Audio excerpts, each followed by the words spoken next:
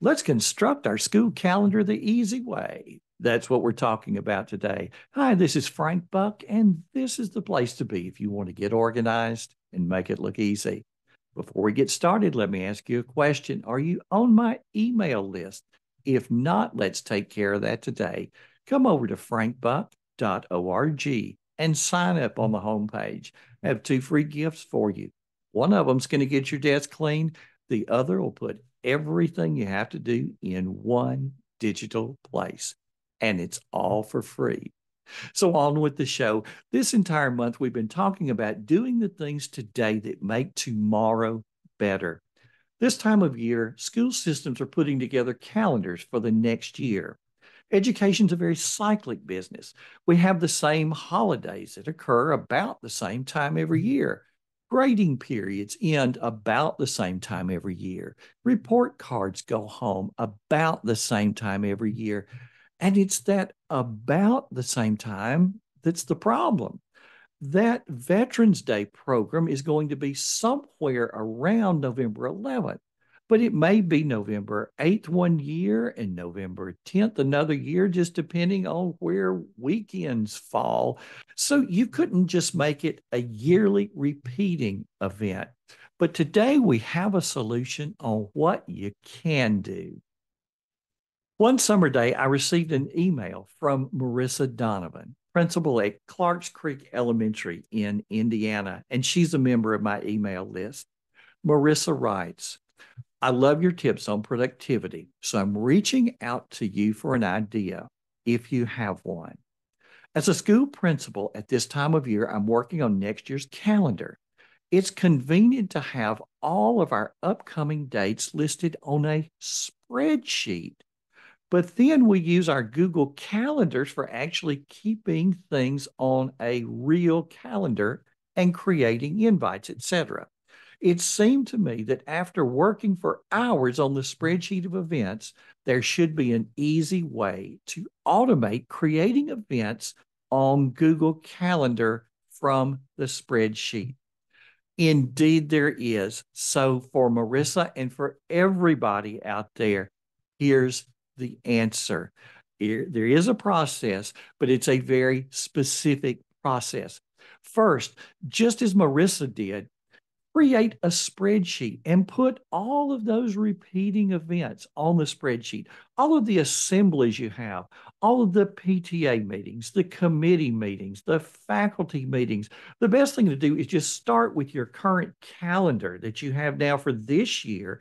Look at all the events that are on there and the things that you're going to have next year also. Just list them on the spreadsheet. Now, here's the thing your columns must be in a specific order and named in a specific way. In the blog post that accompanies this video and this podcast, you will see a sample of just a few events. Make sure that your spreadsheet has the same columns in the same order, labeled exactly the same way. If you're listening to the audio podcast, be sure to come over to the video where you'll see screenshots of everything that I'm going to be talking to you about. Now, start brainstorming. As I said, look at your calendar for the current school year and everything that you see there that you'll do annually, put it on the spreadsheet. Suppose you're not a school, but you're a business that has some annual events. Maybe it's board meetings, inventory dates, pay days, or any other dates that repeat, but not on the exact same day every year. Once you get your dates on the spreadsheet, you're going to download and save it as a CSV file. Now, this is important. You can't just import into Google Calendar from a spreadsheet it must be from a CSV file. Once you have your CSV file, we turn to Google Calendar. Click the cog and choose Settings. Now click Import and Export.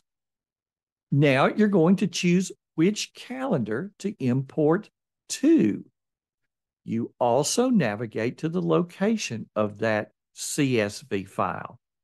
I have a multi day event in my example, a set of four teacher work days at the beginning of the year, starting on the 5th and running through the 8th.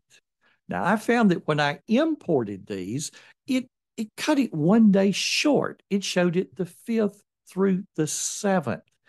You have to think of the end date as going to that date rather than through that date. So, what you're going to find as you put in those holidays that are more than one day is that your end date is going to have to be one day longer than you probably thought.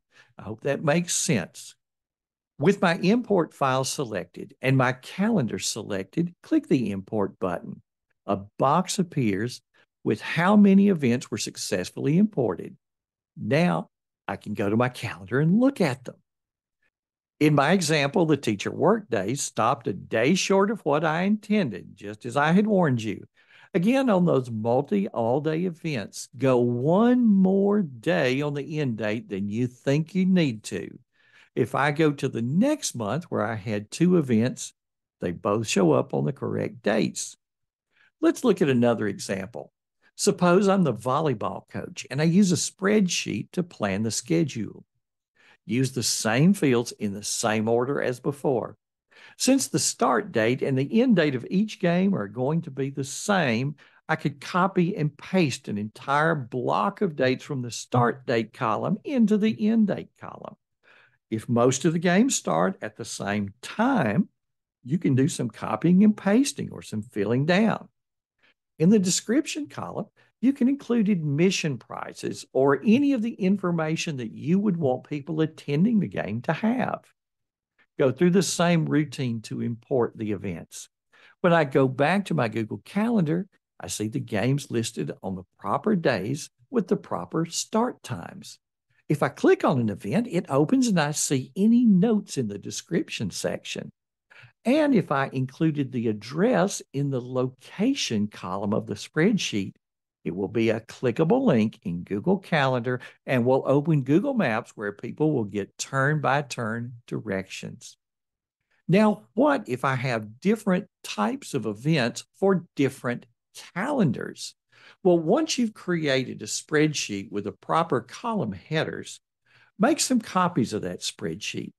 If you have one Google Calendar for the faculty and one for parents and one for extracurricular activities, then you're going to have three spreadsheets.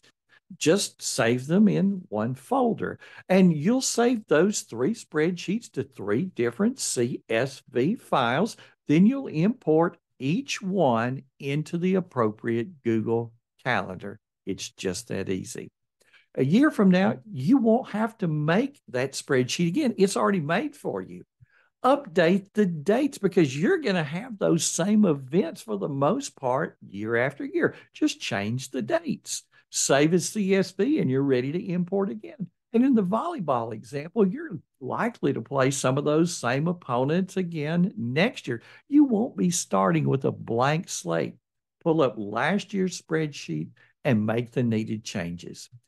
Technology tools tend to work together. So, taking just a little time to learn some techniques, such as this one that we just discussed, can make many tomorrows so much easier.